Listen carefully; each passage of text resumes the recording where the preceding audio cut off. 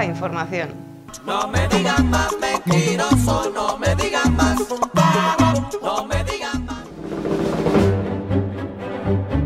En torno a la guerra en Ucrania, los medios y gobiernos occidentales nos prohíben leer otro libro que el escrito por la OTAN. Los medios rusos, que durante años han sido espacio para analistas internacionales críticos, han sido prohibidos por Estados Unidos, la Unión Europea, Reino Unido y otros aliados. Su señal abierta, sus canales YouTube y todas sus redes sociales, sin decisión judicial alguna. Google ha borrado de su buscador sus contenidos anteriores, su hemeroteca, para reescribir la historia como el Ministerio de la Verdad de la novela 1984.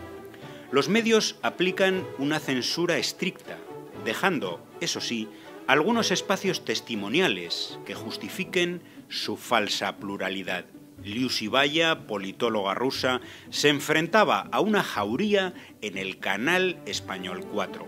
Al denunciar los ocho años de bombardeos ucranianos en Donbass, tuvo que escuchar que eran matices irrelevantes. Me parece un auténtico insulto que empecemos con matices irrelevantes ante una situación que es tan No, sumamente clara que no permite tomar blancos y negros. Es tan evidente aquí No, quiénes pues son los buenos y quiénes son los malos. Precisamente por relatar la situación en Donbass, el diario francés Le Figaro censuró un reportaje de su corresponsal Anne-Laure Bunel. El coronel español Pedro Baños decidió abandonar sus apariciones en televisión tras recibir serias amenazas. La razón, el tono neutral de sus análisis sobre el conflicto.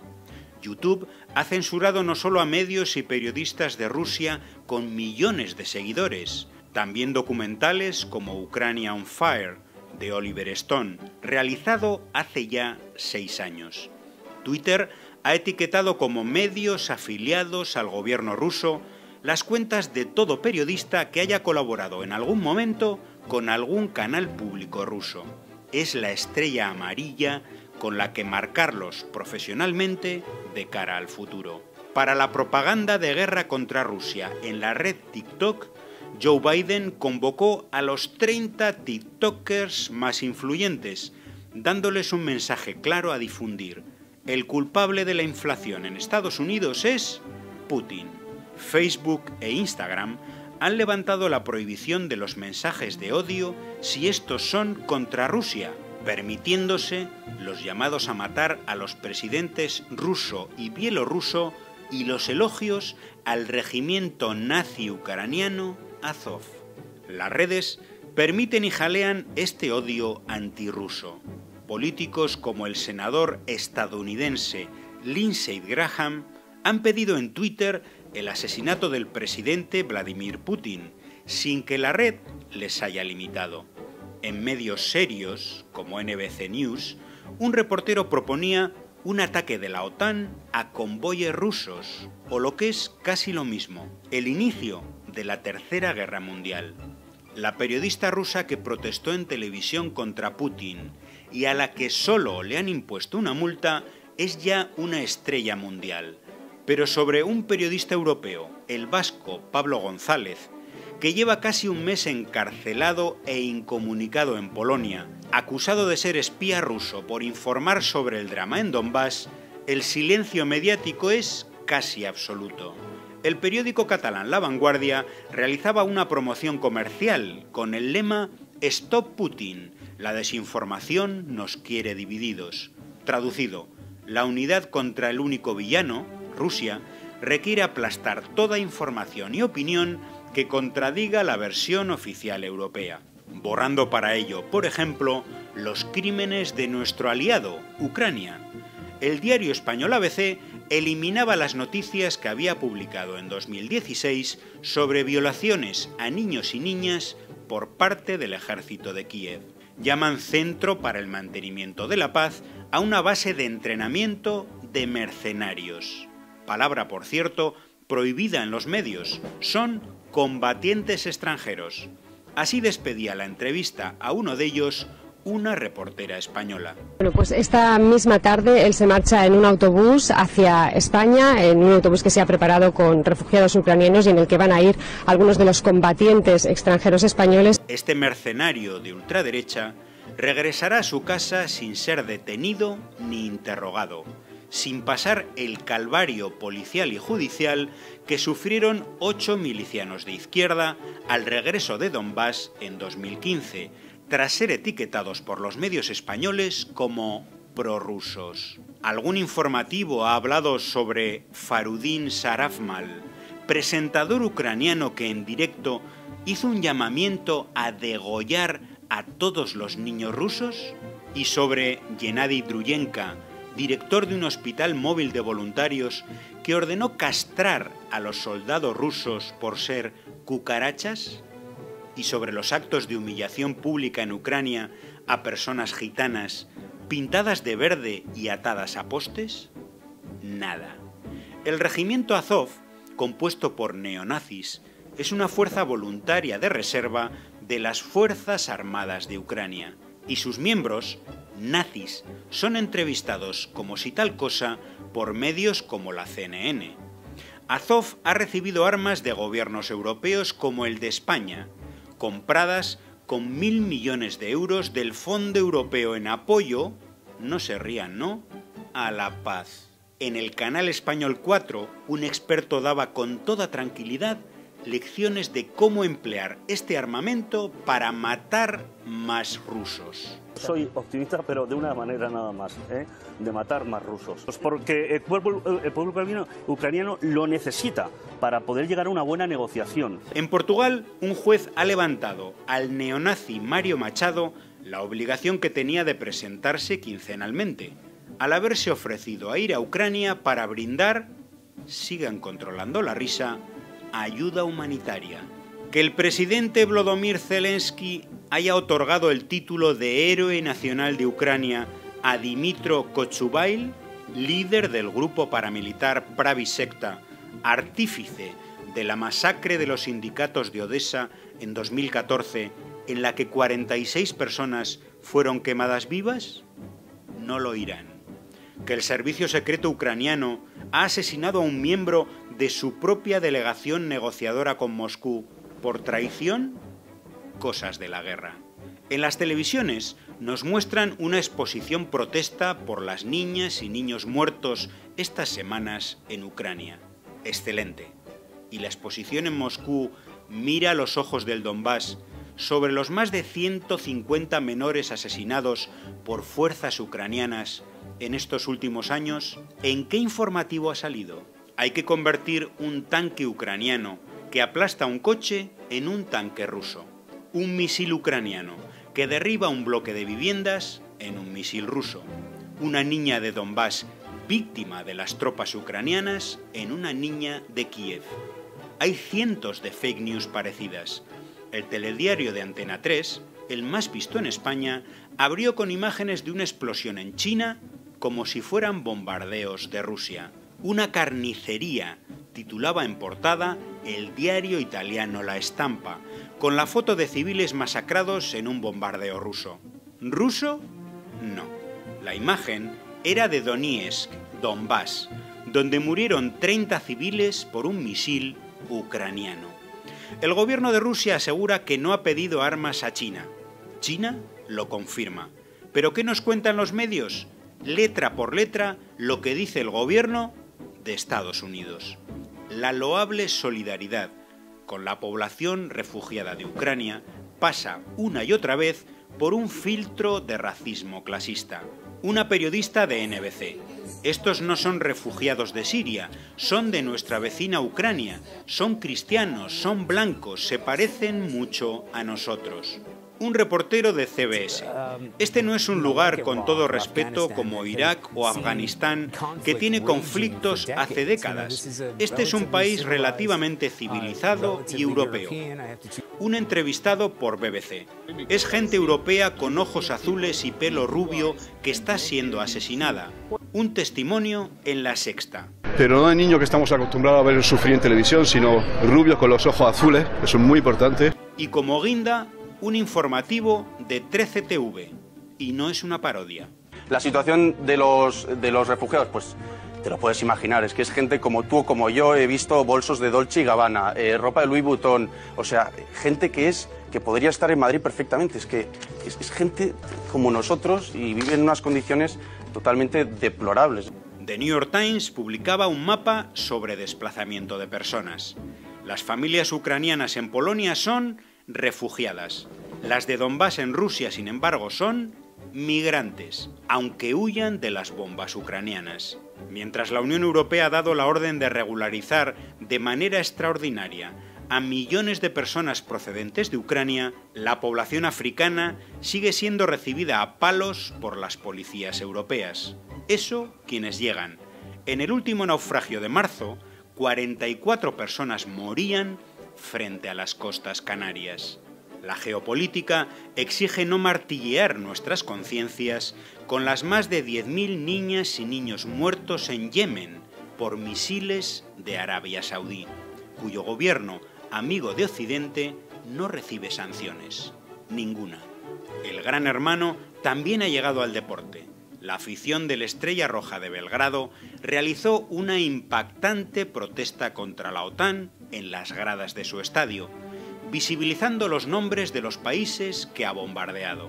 De inmediato la reacción del periodismo europeo, mentir sobre el supuesto carácter neonazi de dicha afición. Falso. En 2009, el futbolista Frédéric Canuté fue sancionado por la FIFA con 3.000 euros por mostrar una camiseta en apoyo a Palestina. En 2016, por la misma condena a Israel por parte de su afición, la UEFA sancionó al Celtic de Glasgow. Pero ahora, hacer política en el campo y apoyar al gobierno de Ucrania es obligatorio para todos los clubes de fútbol. Dos individuos ya identificados por la Archancha mostraron su apoyo a Rusia. Banderas a favor de Rusia en San Mamés. Banderas y pancartas. La Archancha ya ha identificado a los autores. Esto decía el comentarista catalán Josep Pedrerol, tratando de criminalizar a quienes portaban banderas de la República Popular de Donetsk, Donbass, un pueblo masacrado durante ocho años por el ejército de Ucrania y que votó masivamente por su independencia. Pero en los medios leemos que eran pancartas a favor de la invasión rusa. El empresario ruso Roman Abramovich se ha visto obligado a vender el equipo de fútbol inglés Chelsea por la presión política y mediática. Pero el Newcastle seguirá en manos de la Casa Real Saudí, que lleva siete años bombardeando Yemen y ha causado allí más de 300.000 muertes. Por cierto, el 12 de marzo fueron ejecutadas en Riad 81 personas en un solo día. Pero la Supercopa de España seguirá celebrándose allí, en Arabia Saudí, que paga a la Federación Española de Fútbol 30 millones por año. Todo muy coherente. La política de chantaje a escala global hace que empresarios rusos sean sancionados no por sus decisiones, sino por las del gobierno de Rusia, igual que sus deportistas, que no pueden competir con la bandera de su país ni en mundiales ni en olimpiadas. Nikita Mayisin, piloto ruso, ha sido despedido del equipo Haas de Fórmula 1. El tenista Daniil Medvedev deberá renegar de Putin si quiere competir en Wimbledon. Y el gran maestro de ajedrez, Sergei Karyakin, ha recibido una sanción de seis meses. La Asociación Ucraniana de Fútbol ha retirado a Anatolin Timaishuk, uno de los mejores jugadores de su historia, todos sus títulos y su licencia de entrenador debido a su silencio ante la invasión rusa. El luchador ucraniano Maxim Rindovsky fue torturado y ejecutado por neonazis, acusado de equidistancia en el conflicto con Rusia. ¿Algún escándalo en la prensa deportiva? La caza de brujas ha llegado también a la cultura. El ruso Valery Gergiev fue destituido como director de la Orquesta Filarmónica de Múnich. Los teatros europeos, como el Teatro Real de Madrid, están cancelando las actuaciones del Ballet Bolshoi. La Orquesta Filarmónica de Cardiff, Gales, ha sacado de su repertorio las obras de Tchaikovsky. Debido a las protestas, la Universidad de Milán tuvo que dar marcha atrás a su decisión de eliminar un curso sobre Dostoyevsky. Y la de Córdoba no solo ha roto relaciones con el profesorado de Rusia, sino que amenazó con hacerlo con el de Cuba e Irán si no rechazaban la invasión rusa. La rectora de la Universidad de Valencia llamó a la autodeportación de todo el estudiantado ruso. En Arlington, Virginia, un profesor de escuela que incluyó en una clase sobre la guerra de Ucrania el punto de vista de Rusia fue filmado y denunciado por un alumno. Inmediatamente fue suspendido por difundir propaganda rusa. La locura no para. El nombre del cosmonauta Yuri Gagarin, primer hombre en el espacio y fallecido hace 54 años, ha sido retirado de un acto benéfico de la Spice Foundation de Estados Unidos. No pocos medios extendieron el bulo de que Rusia iba a abandonar en el espacio a un astronauta estadounidense, algo completamente falso. Como falso fue que el traje amarillo de unos cosmonautas rusos en la Estación Espacial Internacional fuera un acto de apoyo a Ucrania. Criminal de guerra, acusan a Putin en los medios que jamás aplicaron dicho término a George Bush, José María Aznar o Tony Blair, tras la invasión de Irak que provocó centenares de miles de muertes. Algún canal de televisión ha recuperado el vídeo del hoy presidente de Estados Unidos sobre los bombardeos a Yugoslavia, pues dijo exactamente esto. Fui yo quien sugirió bombardear Belgrado. Fui yo quien sugirió enviar pilotos estadounidenses para destruir todos los puentes. Era 1999, la OTAN lanzó 2.300 misiles y 14.000 bombas durante 78 días. Asesinó a más de 2.000 civiles. ¿Y qué papel jugaron los medios que hoy se engalanan con la bandera de Ucrania? Recordemos solo la portada de la revista Time, llevando a los serbios al infierno. Un bombardeo masivo abre la puerta a la paz. Nos dicen que Putin es un tirano porque, aseguran, prohíbe manifestaciones en contra de la guerra. Zelensky acaba de prohibir la actividad de 11 partidos, casi todos de izquierda, además del comunista que ya era ilegal, por ser prorrusos, todo con el aval de la Unión Europea. El gobierno de Lituania ha cancelado una donación de 400.000 vacunas anti-COVID a Bangladesh, porque este gobierno se abstuvo en la votación para condenar a Rusia en la ONU.